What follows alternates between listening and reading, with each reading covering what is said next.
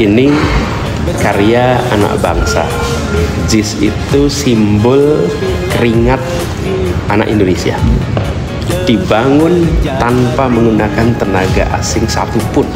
Semuanya adalah anak kandung Indonesia, dididik di lembaga-lembaga pendidikan Indonesia, dan mereka menghasilkan bangunan kelas dunia.